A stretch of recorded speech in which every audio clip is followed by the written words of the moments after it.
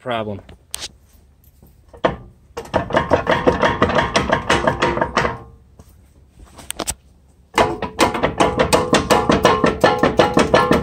don't know how you drove this here.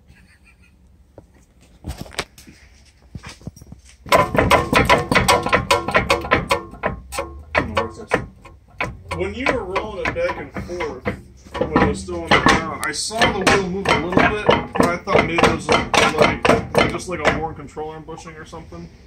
But now that I see this, yeah, it's definitely a bearing or something like that. So something in there.